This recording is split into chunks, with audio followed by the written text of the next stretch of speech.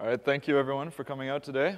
Uh, it's great turnout, uh, so really appreciate that on the, the last day of I.O. here. Today I'm going to be talking about knowledge-based application design patterns. My name is Shawn Simister. I work in developer relations here at Google. I work with the Knowledge Group, uh, which as you might know includes search, but it also covers a lot of other uh, developer products like Freebase, Google Refine, Schema.org, um, and the, now the Knowledge Graph. I've been building web apps for over 10 years now, uh, working in developer relations for a year. I've been a member of Freebase community since it started five years ago.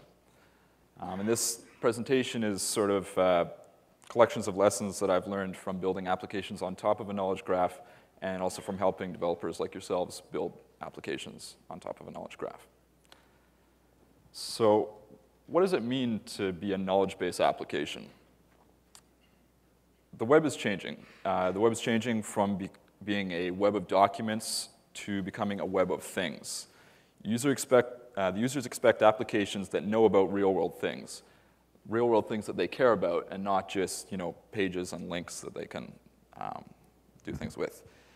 This creates opportunities to build new types of applications and enhance existing applications.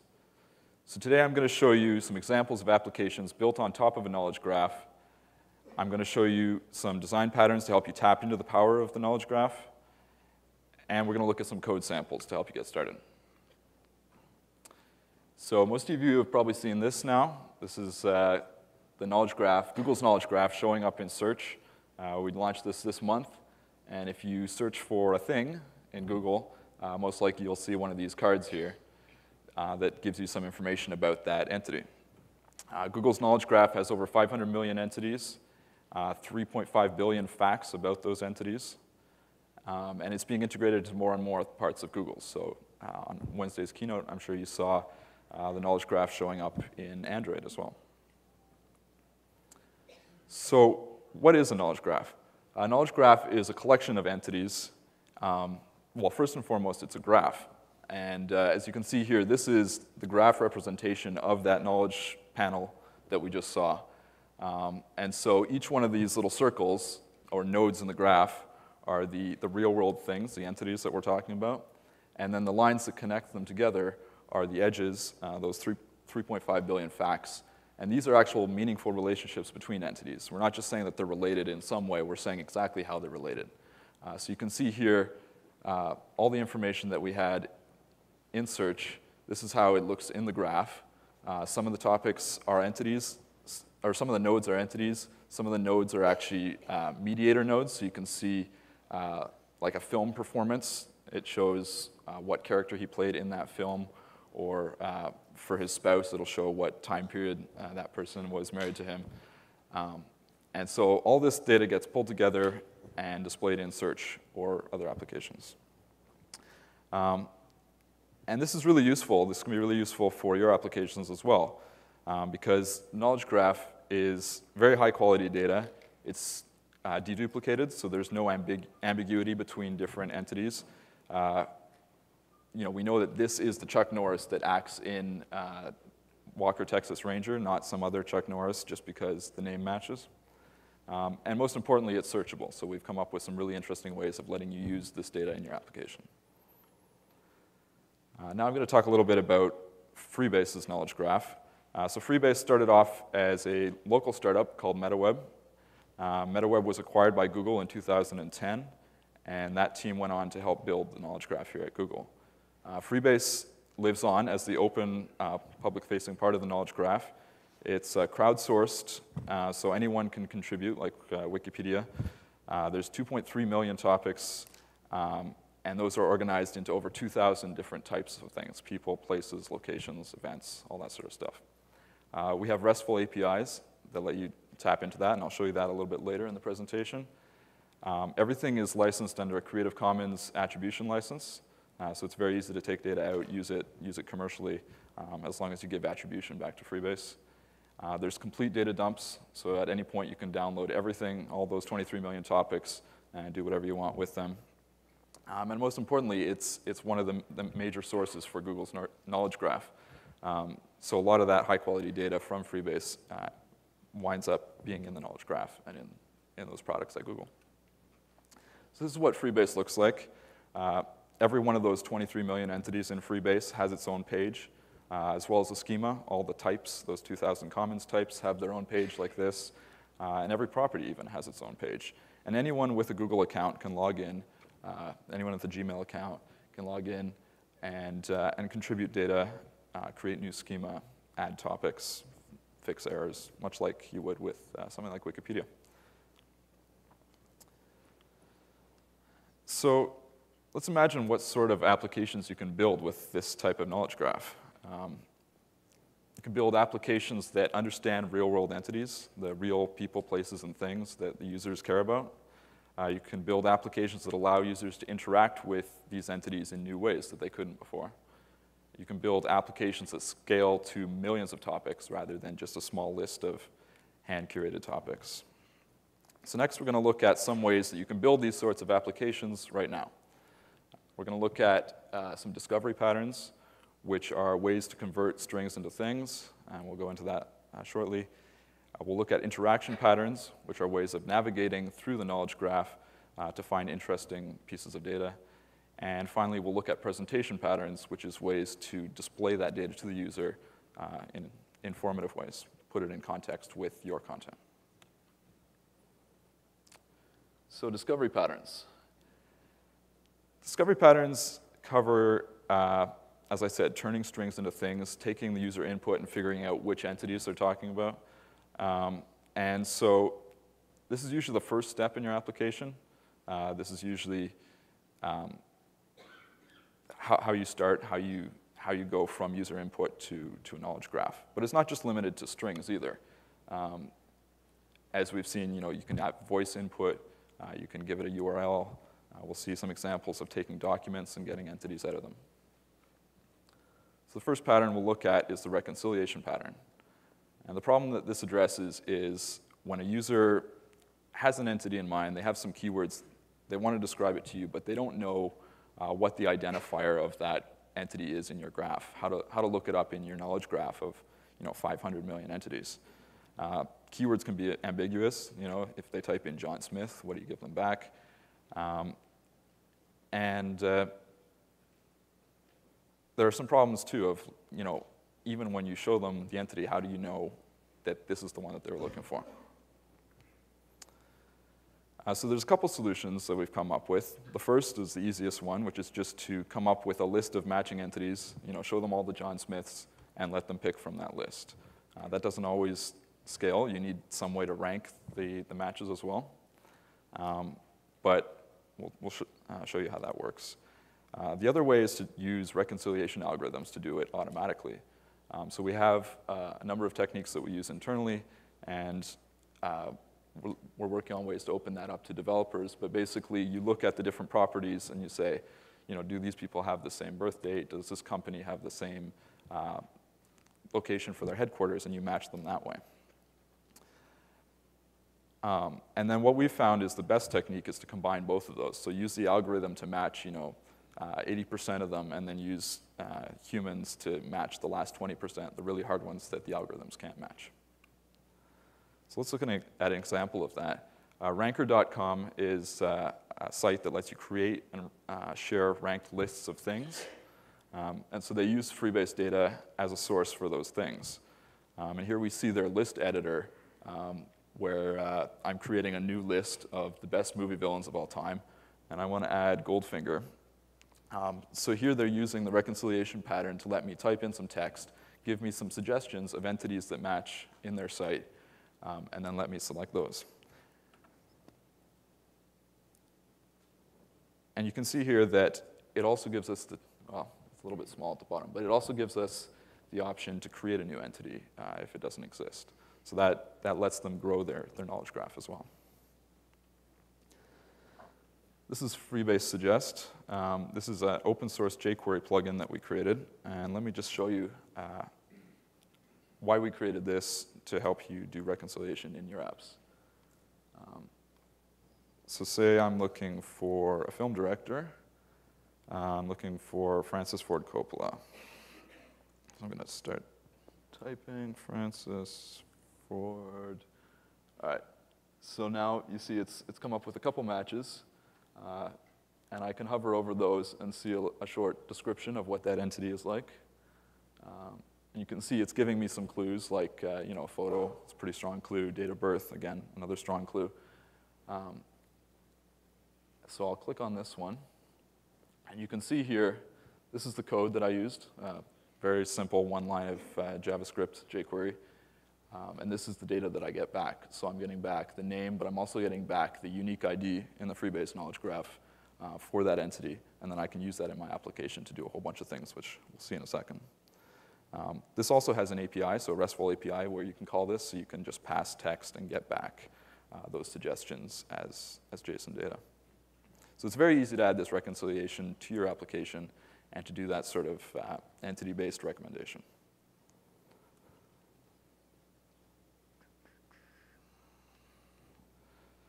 So when would you use this?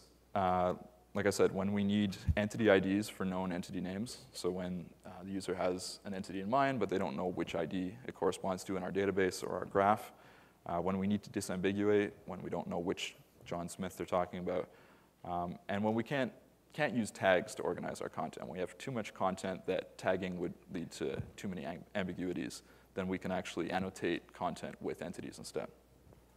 Uh, let's see one more example of that reconciliation pattern. Uh, this is a, an app, social app called Amen, and uh, it lets you st state strong opinions about real world things. And they actually use Freebase data to let people uh, select an entity and then state a strong opinion about it um, and then share that with their friends. And one of the interesting things about that is that once you've shared that, um, they actually know about the entities that you're sharing your opinion about. So you can click on an entity, um, you know, say it says uh, Blue Bottle Coffee uh, is the best place for coffee in San Francisco, you can click on that blue bottle coffee and see all the other recommend or all the other opinions that people have had about that entity. Uh, so it, it opens up some new possibilities for how you want to uh, interact with the data. The second discovery pattern we're going to look at is called the detection pattern. Um, and this is where uh, a user wants to learn more about some subject matter, but it's not just a string, it's maybe an article or an image or a video. Uh, something that they couldn't easily just type into a text box like we saw. Um, so there are a number of solutions for this. Uh, most common one is called named entity recognition. Uh, so this is a family of algorithms that people use to automatically detect named entities, uh, these things, from uh, an article. Um, another way to do it is to use structured markup. Uh, so there's a lot more web pages these days using things like schema.org, RDFA, microformats, um, and you can actually use that to pull the things out of the page and then use the reconciliation pattern that we just saw to figure out which entities they correspond to in the knowledge graph. This is uh, DBpedia Spotlight. Uh, this is an open source project built on top of DBpedia. Uh, DBpedia is a project uh, that's goal is to extract structured data from Wikipedia. Uh, so it's a lot like Freebase in that sense, except for it's limited to just Wikipedia, uh, and they produce RDF data. And they've created this, this incredible tool to do named entity recognition using DBpedia data. The great thing is that because Freebase and uh, DBpedia are both using Wikipedia data, all of our IDs link together quite easily. So you can actually use DBpedia to get the IDs out and then convert those into Freebase IDs quite easily and use that uh, data in your application. So when do you use this? You use this when you have a lot of content. Um, you know, thousands of articles or more content than you could annotate by hand. Uh, when you need to identify uh, relevant entities with your content, so say you have a lot of user-generated content and you want to be able to navigate that uh, in ways like we saw with Amen that are related to the entities being discussed, you can use this. Um, and yeah, like I said, when we just have too much content to mark up. Uh, a uh, number of other services, OpenCalais, Alchemy API, Zemanta, they all use Freebase identifiers to look up entities in text. Uh, so um, a lot of great APIs that you can use to, to mash up that data with other sources.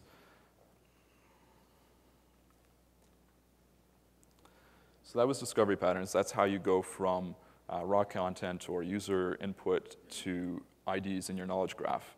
Now we're going to look at interaction patterns, which is once you have those entity IDs, what sort of interesting things can you do with them? How can you use that to uh, find interesting paths through the, through the graph?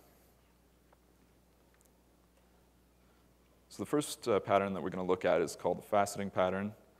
Um, and the problem is that the first step might have returned a lot of results. You might have said, you know, I want to find um, computer programmers, and it returns, you know, thousands of results. Now what do you do? Um, a lot of times, the, the data that the user is looking for is large. It's not, not all of it is that interesting. Um, you want to find a way to filter it down, but you don't know, uh, there's no specific way that you can filter it down. If you're dealing with an entity of 500 million topics, uh, thousands of different types of topics, there's no single way to organize that. So facets are a very flexible way to let the user drill down into that data. Uh, basically how it works is you look at all the different properties of the data, um, and you count up how frequently each one occurs, and you let the user choose. Uh, so you can see here this image I have is from Google Refine, uh, which is a product that we, we've open sourced for working with messy data. Um, and uh, it's, it's taken some zip codes, counted them up, uh, and we let the user click on those to see just the data that concerns that zip code or uh, um, political party here. Um, and so the idea is you give the user a broad overview of what sort of data they're looking at, let them click on it, filter down those results until they find you know, a smaller set of entities that they're, they're really interested in. One of the areas where we've done this is actually in Google search. Uh, if you do a Google search for something that looks like an entity, or something that looks like a, sorry, a, a recipe, um, we actually do faceted search on the side. So here, uh, I've done a search for margarita recipe, and you can see that we've faceted you know, popular ingredients, the cooking time, the number of calories in the recipe. Um, I don't know why you'd be concerned with calories for margarita, but uh, um, and so if you if you click on any one of those facets, you can actually filter that down. It does it automatically does a constrained Google search, um, and really lets you dig into that data quite quickly.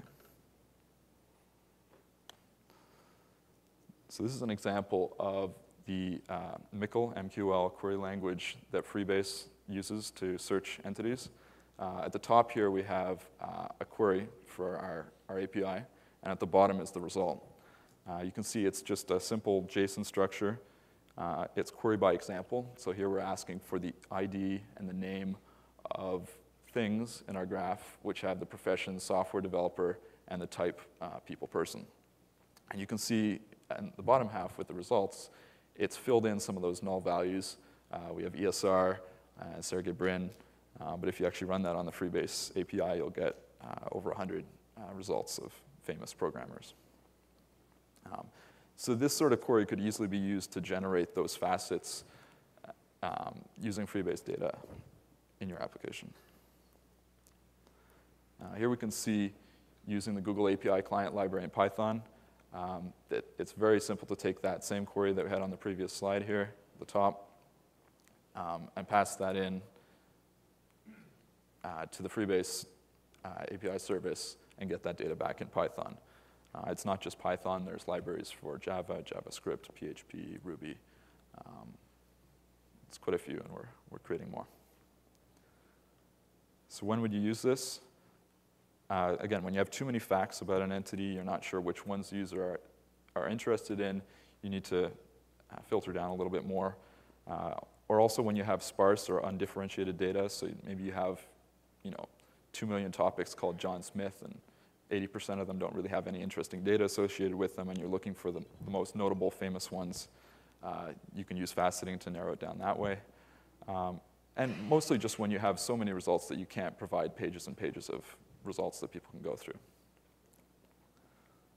Um, so as I was talking about earlier, this is Google Refine.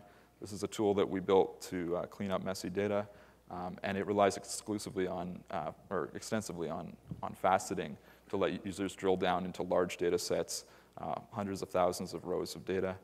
Um, and so they can create custom facets on the left-hand side there to drill down into this data. Um, and we actually created this tool as a way to load entities into uh, the Freebase knowledge graph.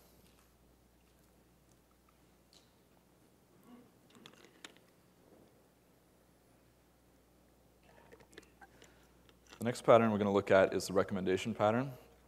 Um, so this is when you have a large knowledge graph and you want to encourage people to explore through it. Um, if, if you have 500 million entities, you know, how are you going to get uh, people to visit all those entities um, when they might just look for the most popular ones? Um, so the great thing is because everything in our graph is a node connected with edges, we know how they're related and we know how, how closely they're related. Um, so we can actually come up with meaningful recommendations for what other entities you might be interested in or what other content you might be interested in based on the entities that are being discussed. Um, and not only can we say that they're related, but we can even tell you how they're related. Um, so that makes uh, really strong recommendations for why you should check out that other content. Uh, we can go back to the example with the knowledge graph here, which is what we've done. Um, so we say, all right, you're interested in Chuck Norris, you might also be interested in some of the movies or TV shows that he's done. Um, so we can recommend some of the mo most notable ones here, and we can actually tell you that we know, you know their uh, movies and TV shows with Chuck Norris. Uh, so it's a stronger recommendation than uh, the one before, which is just um, things that you've also searched for.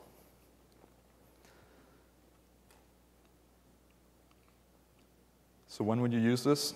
Um, like I said, when there are too many possible ways to organize the content, uh, you can't just come up with a, a single uh, hierarchy for browsing the data, um, especially when you have uh, things like music or movies, which users have a really personalized preference for.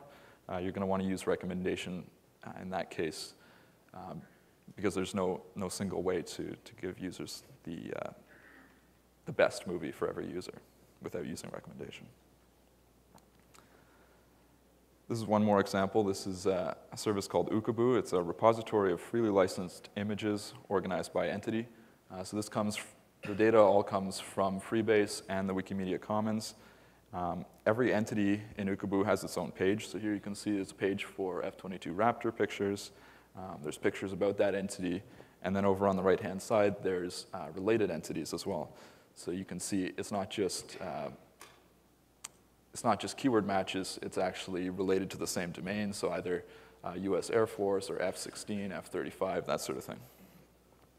Uh, so Ookaboo uses Freebase data to figure out which entities might be related, um, and that makes it easier to explore this large uh, corpus of images in interesting ways. So those were the interaction patterns. That's how you uh, can kind of dig through a large amount of content using entities. Uh, now we're going to look at presentation patterns, which is kind of the last stage of your application. This is, um, this is how you take, take this entity data, present it to the user, uh, show them that you know which things they're talking about, which things they care about, and let them do interesting things with that. Um, it's not just you know, a shiny kind of distraction visualization. Uh, all this data coming from the graph are, is real factual data. So when you're putting that on the screen, that's really helping the user out uh, and showing them uh, something interesting about these topics. Uh, and this is really the key to using a knowledge graph with existing content or user-generated content um, by being able to mash it up with the, data from the knowledge graph. So we'll see some examples of how that works. So the first pattern uh, is the simplest one. This is the uh, summarization pattern. And this is just when we want to describe an entity. Uh, so the user has done a search for something, or the user has selected something from Freebase Suggest, and we want to give them that confirmation that we know which entity they're talking about. And we need to come up with a short, concise description of what it, what it is. Um, so the solution is, uh, is to show you know, things like image, description, uh, disambiguating properties like date of birth, um, you know, what, uh, what year a movie came out in. Sometimes there's uh, multiple movies with the same name but came out in different years, remakes, that sort of thing. Um, so let's see an example of how that works. Uh, so you'll recognize this is Freebase Suggest like we had before, but we're actually going to use uh, brand new uh, Freebase Topic API, which we're, uh, we're launching today, to get a nice little summary of that topic. So let's look for Chuck Norris. You can see it's suggesting entities here. Um, and this is all live. This is going off of uh, the Freebase knowledge graph uh, right now. So you can try this yourself. Um, so we'll select first result there. It looks like the right one. You can see it's pr provided a little summary here for us. Um, but we actually use the, the topic API uh, with uh, some jQuery. Um, I didn't show the, the whole uh, code snippet here, but uh, you can do view source on the slides to see um, how you build this little topic summary to confirm with the user that this is actually the entity that they're talking about.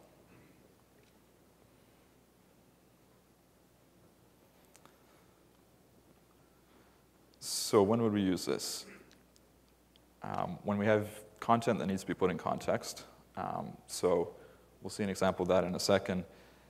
Um, but basically, when you want to say, this, this article or this video uh, talks about this specific content, not just uh, you know, a tag like John Smith, but an actual, an actual entity that you can click on and, and find out more information about.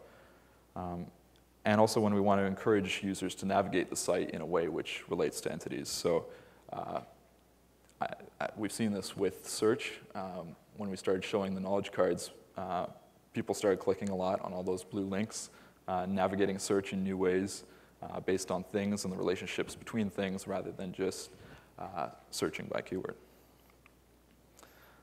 Uh, so this is an example from the Wall Street Journal, um, and they're using Freebase data to, uh, to add that sort of navigation structure to their content.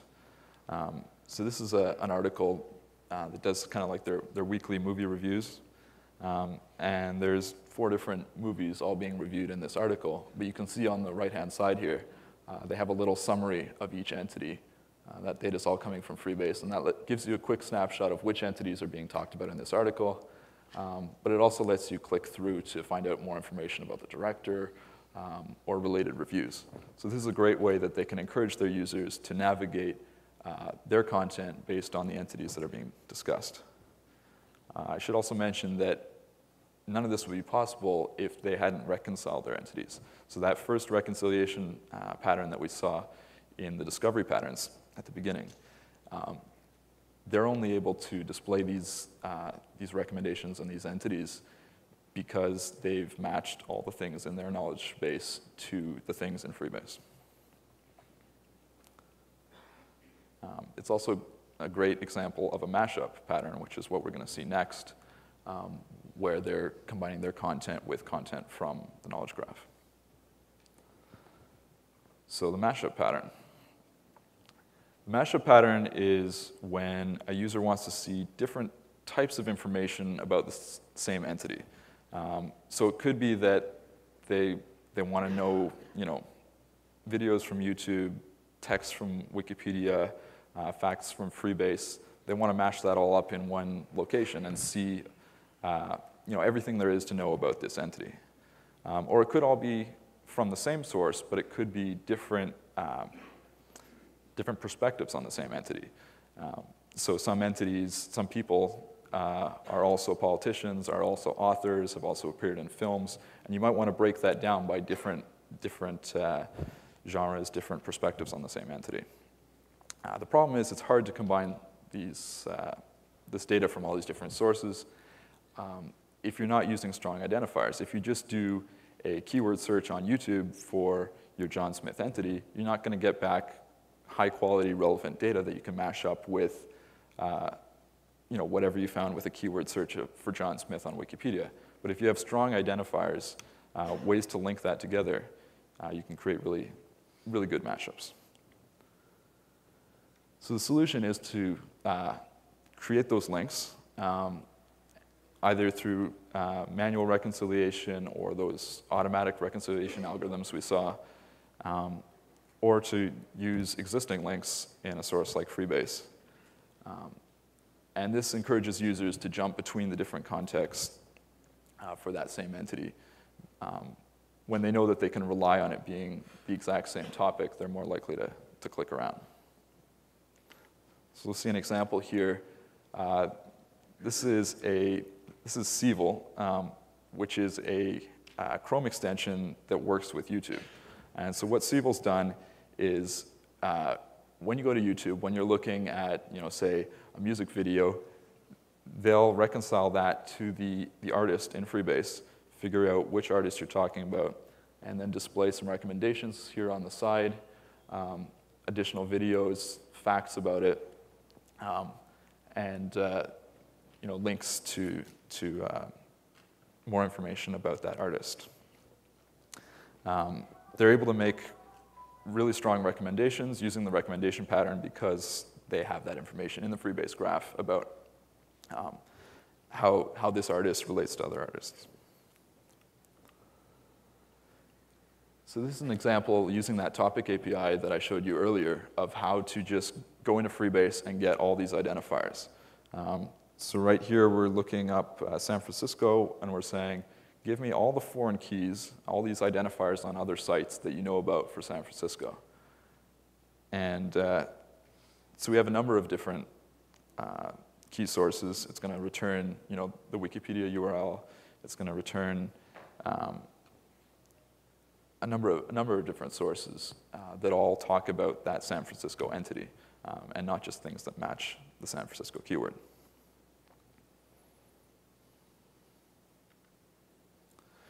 So when would you use this? When you need to see information from different perspectives, um, and when you need to mash up uh, data from different sources. Um, so when it's not, when you can't get all the information from one source, you need to combine it on your website. You need to be able to have these identifiers to look it up on other websites. And a great resource for this is a site called sameas.org. Uh, sameas.org is a data hub that links together all these different data sets on the web uh, it's completely open, so anyone who owns a data set can contribute their, uh, their links to this data set. Uh, so Freebase has contributed all their entity IDs to sameas.org. Uh, there's a simple JSON API, so you can see here I've looked up the, uh, the Freebase RDF URL uh, for the San Francisco topic we were just looking at, and it's returned a list of all the equivalent identifiers on the web for that entity. So the identifiers at New York Times. Uh, you can see Ookaboos in there, um, GeoNames, Wikipedia. Uh, there's, there's quite a few data sets, and they're, they're always adding more. So this is a great example of how you can easily combine data from different sources once you have those entity identifiers. The last pattern we're going to look at is the visualization pattern. And this is when you have uh, many different entities that you want to display. Uh, more than you know, just the four entities that you saw in that uh, Wall Street Journal article. What if you have 40? How do you display those? Um, and also, the, the, different entities on the Wall Street Journal article uh, were only related because they came out in the same week. But what if there's more meaningful relationships between the entities? How do you show the relationships as well as you know, the facts and the image related to those entities? Uh, so there are a number of different solutions to this, but basically you can use data visualization techniques to display a lot of entities at the same time um, while also keeping some of the semantics about how they're related. Uh, so for example, if you have you know, families or organizations uh, with people in it, you can visualize that as a tree. If you have places or events, you can visualize that on a map. Um, events can also be visualized on a timeline, as we'll see in a second. Uh, one of the easiest ways is you can just visualize it as a graph. So that slide I showed you at the beginning where Chuck Norris is you know, a node connected by other, uh, to other nodes with edges, uh, that's one way of visualizing it. Um, and also bubble charts are a really interesting way to um, visualize a lot of information about entities when there's no easier way to do it like maps or timelines. So this is ThinkBase. This is uh, an interface that someone built on top of uh, Freebase. And I'd encourage you to check it out uh, afterwards. There's a, a, link there at the bottom. Um, it's an interactive interface to Freebase. Whoops. Um, so here I've, I've looked up uh, Prometheus, the movie, um, and it's expanded a number of the relationships for me. And I can, I can see the different related entities, how they're related. I can click on those to explore uh, what what other entities are related to those. Um, so it's a really interesting way to explore the data. Uh, if you get to some really dense topics like United States that have a lot of entities connected to them, uh, it can get a little bit, a little bit confusing. Uh, but in most cases, it's, it's a pretty cool way to, to navigate. Um, so we use visualization patterns when it's important to be able to see the relationships between multiple entities at the same time. Um, and like I said, when there's, there's far too many different entities that we want to show to be able to just list them, uh, like you saw in the Wall Street Journal article. The last example I want to show you here is uh, an amazing site called Conflict History. Um, again, they are using Freebase data to mash up a lot of different entities about different military conflicts uh, over the centuries. Um, and actually, you can see here they've got a map. Um, so they've plotted all these different events on a map, uh, but they're also plotting them on a timeline at the same time. So let me see if I can just open that up here.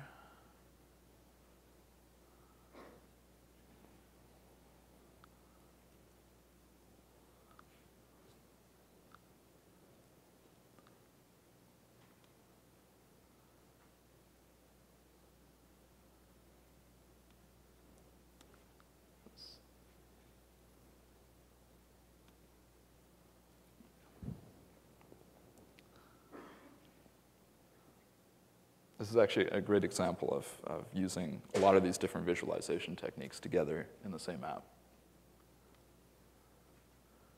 Uh, so here we can see that, that map. It's pulling the data out of the knowledge graph, plotting it on the map.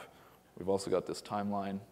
Um, so we can drag this little window at the bottom, or we can expand it as well um, to see military conflicts that happen uh, in this time period and in this, this part of the world. We can hover over any of the entities, and you can see it's, it's pointing to the, uh, the item in the list that corresponds to this, this conflict.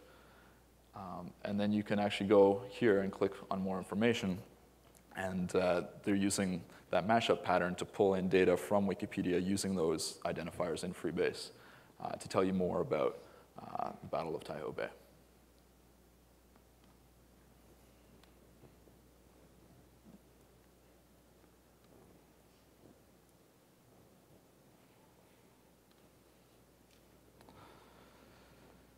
So to sum things up here, uh, we first looked at discovery patterns, which was a way to surface entities in your application to take uh, the, the, strings or the, the input that the user is giving you and convert that into things.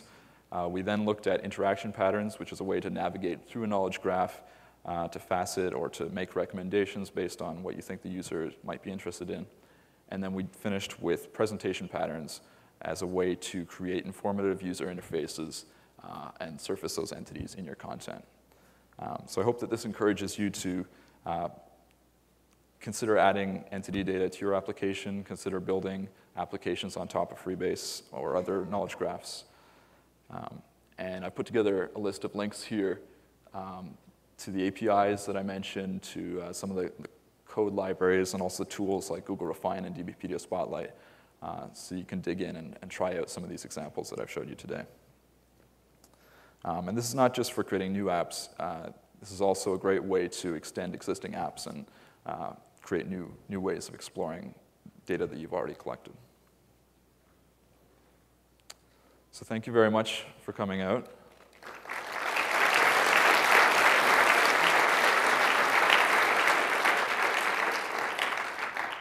I've put a copy of the slides at uh, knowledgedesignpatterns.com so you can check out all the examples, uh, click through to all the links there. Uh, this is my Google Plus profile, so feel free to follow me and uh, ask me questions. I know. But if you go to the, the URL, then you can click on the link. Um, and you can also follow me on Twitter, which is a little bit shorter, I guess. Um, so yeah, I'm going to invite my colleague Michael Mazuris up here on stage. Uh, Michael works on Freebase and the Knowledge Graph here at Google. Um, and we'd be happy to take any of your questions, or we'll be uh, hanging around here afterwards if uh, you have more questions.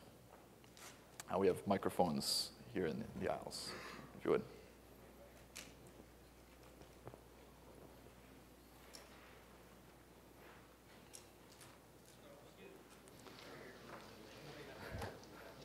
Um, I, am not all that familiar with uh, Freebase, although it looks great. I was just wondering, um, is there the concept of a schema when you have something of a certain type, like you showed all these movies on the Wall Street Journal site? Are they able to, you know, assume there's going to be a director and a, you know, producer and actors and actresses and stuff, or um, is there not really that sort of a, you know, structure to the to the uh, information? Yeah, absolutely. So uh, yeah, every every entity in Freebase can have one or more types uh, applied to it, and the types are actually nodes in the graph as well. Um, so you can go to Freebase and you can look up, you know, that uh, people-person type or the movie type or the director type, and you can see which properties uh, are suggested for that, that type of entity. Um, and so, yeah, it, it's, it's really cool the way that the topics and the types and the properties are all modeled as nodes in the graph, and you can query any of them using the APIs. I mean, that, that sounds very open-ended. I was wondering, though, is it that there's a structure, something that is a movie is going to have certain types filled in, or else it's just considered an incomplete record, and maybe you could filter that out in your results and say, only give me the ones that ha have been properly, uh, for you know, is there a constraint, sort of? Yeah, so there, there aren't, there aren't uh, any really hard constraints on which properties have to be there. Um, because this data is coming from a number of different sources, we can never really guarantee that you know every every book we find is going to have the author, um, or every film that we have is going to have the release date on it. Um, but that's that's the value of having kind of a crowdsourced knowledge base like Freebase is that people can come along afterwards and fill in those facts. So all the types have properties associated with them, uh, but they're not required. Gotcha. Uh, yes, hi. I was wondering if there's any kind of um, like callback API. So like as this data changes, is there any way to like subscribe to that?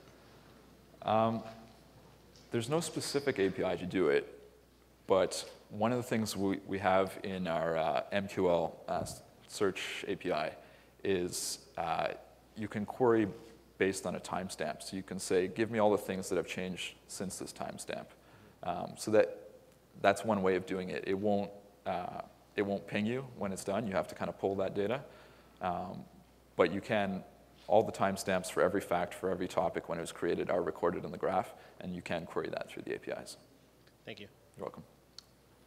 Um, this is a little bit of a high-level question. I, I, you know, I attended uh, some of your uh, presentation at, uh, you know, uh, FreeWeb and, uh, you know, the yes. RDF thing. And with the emergence of all these platforms, you know, you always see applications that mostly like use this data to display and certainly in, in increase the power of, uh, you know, uh, your presentations. But is there are there any projects that are trying to use this to do some sort of reasoning? I mean, like obviously the the, the, the most obvious thing would be like something like Siri, where where you're actually trying to actively, you know, answer a question or help users. Is it is there anything like that?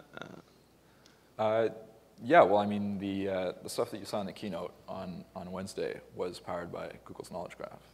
Okay. So you're doing it, but these projects are internal, so there, there's no uh, outside developers trying to do that based on, on these new uh, data platforms? Um, we don't, we, don't, we don't actually store this relationship, so if you want to do inference, you have to do it uh, yourself, but there's other projects out there like CYC, right. uh, are more academic and they are trying to model actually intelligence and relationships in, in the real world between things. Okay, academic. Okay, I, I know there, there is actually a startup, uh, True Knowledge, uh, that does question answering based on uh, a knowledge graph, and they use data from Freebase to be able to do that question answering.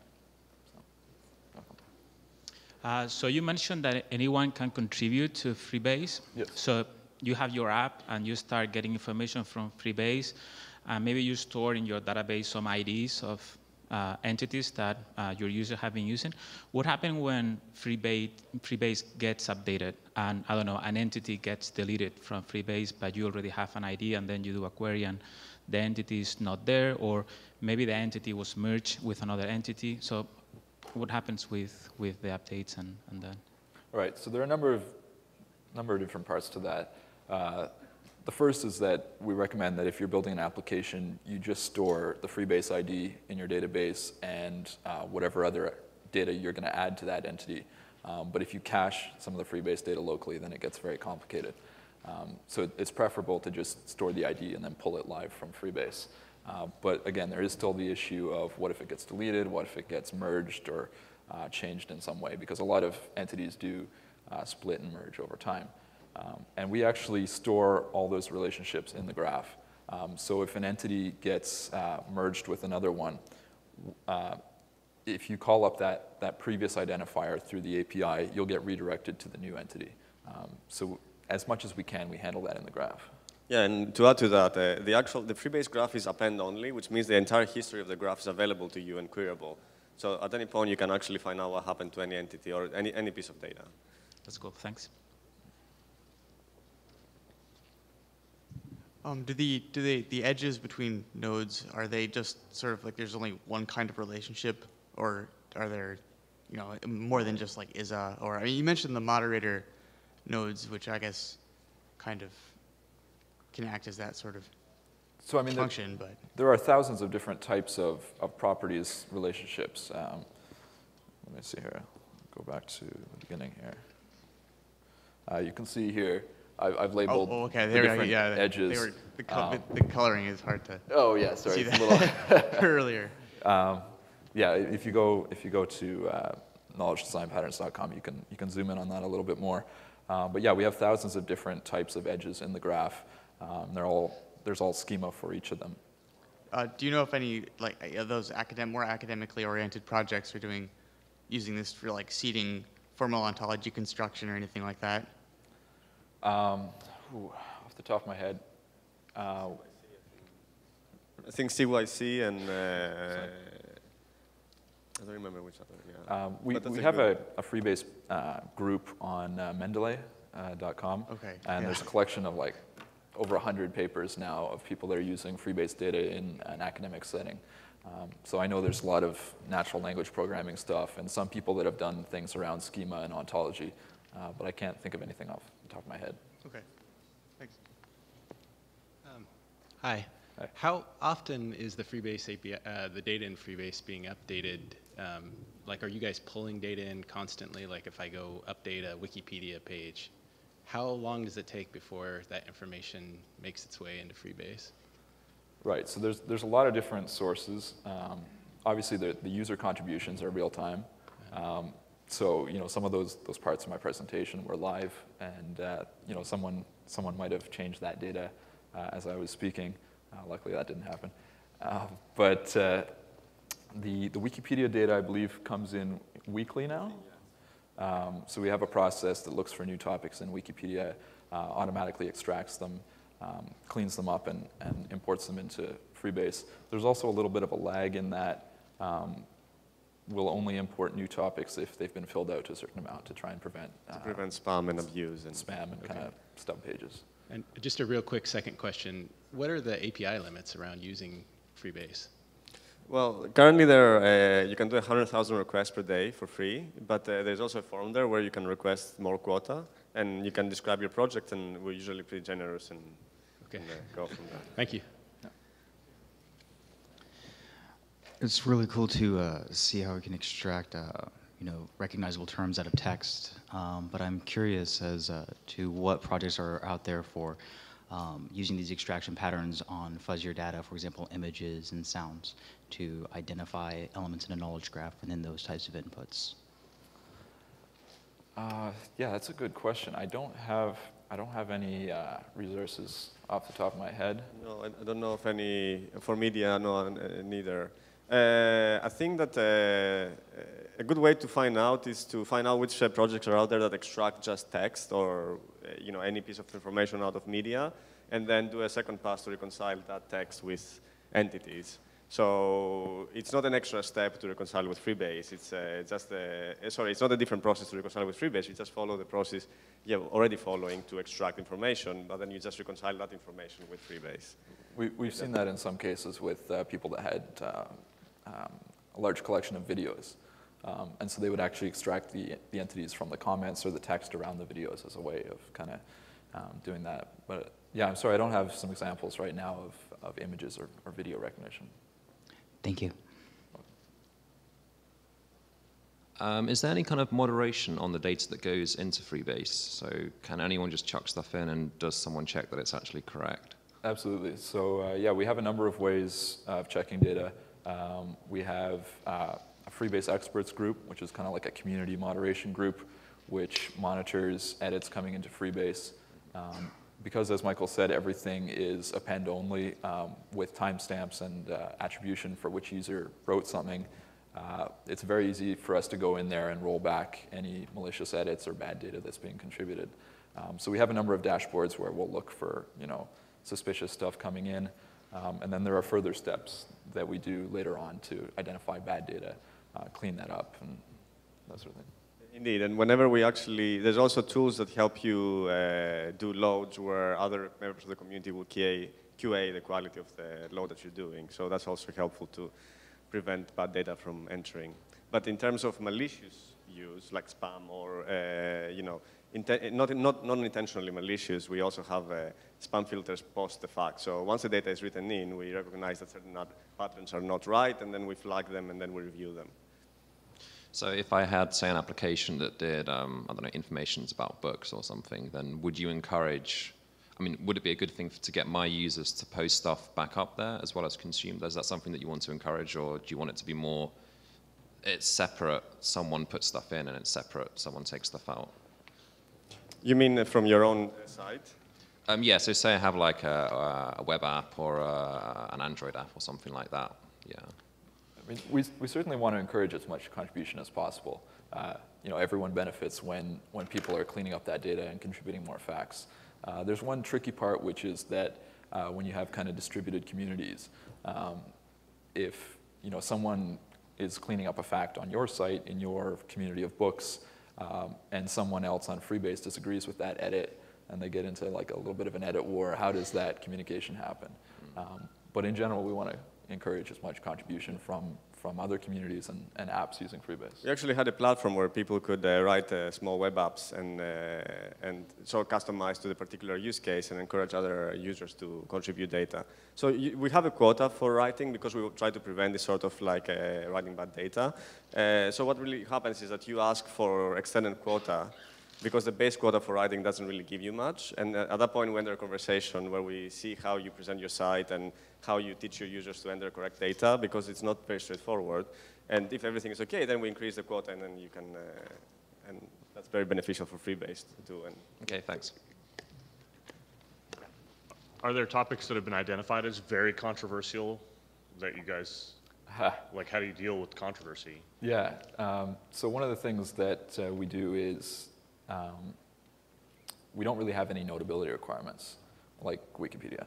So, you know, Wikipedia is around, I think, 2 million and change topics, and uh, uh, Freebase is 23 million topics. Uh, so part of that is that we don't have notability standards. People have added, you know, detailed collections of porn stars and, and various things in there. Um, and we, are creating schema that will mark um, the uh, objectionable content um, so that developers can filter that out in their application or filter it in as the need may be. Um, oh, how about things that are of, of very high, high academic quality but are still controversial in the academic circles and so forth? Um, so actually, motivated by some of the use cases we have here at Google for using uh, data from the knowledge graph, uh, we're looking at ways to come up with much more detailed categorizations of different types of objectionable content. Um, and we already have some expertise in that area from image search and other parts like YouTube. Do you have sort of plans to include authoritative sources of, of information, like government sources?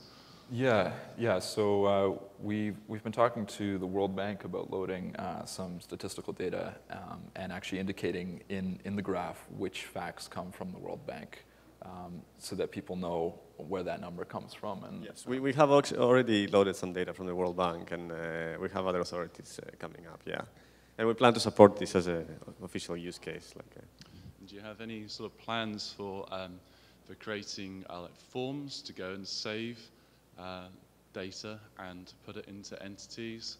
And uh, yeah, yeah, we've been we've been experimenting with that. Yeah, um, we, we, I mean, the, the topic pages here. I think goes for templates as well. Maybe you want to have templates to go and uh, pull together all these entities and present them in a, in a certain way. Semantic Media Wiki does something similar like that, but there's performance issues Yeah. for very large data sets. Yeah, in the, uh, the early uh, versions of freebase.com, we, we experimented with a number of different ways, tables and maps and timelines, like I was talking about, for uh, filtering down entities and displaying them. Uh, it got very complicated, and we, we found that developers could do a better job in their application than we could uh, on freebase.com, trying to serve everyone. Um, so right now, we just kind of target the API use case. Um, Yeah, and I mean, th- th- there's a, there's a variety of tools that get you from editing one single fact for a single entity all the way to uploading a data set of 100,000 entities into Freebase. And uh, in, in that spectrum, we have all sorts of uh, actual, actual apps that can help you do what you want to do. In the new freebase.com that's coming up soon, there is actually an application that works a little bit like you described, where you select, you make a query with the data that you want to see and the data that you want to enter. And that presents you with a grid sort of view where you can go in and then edit a property of every entity, let's say, or something like that. So that tool exists, yes.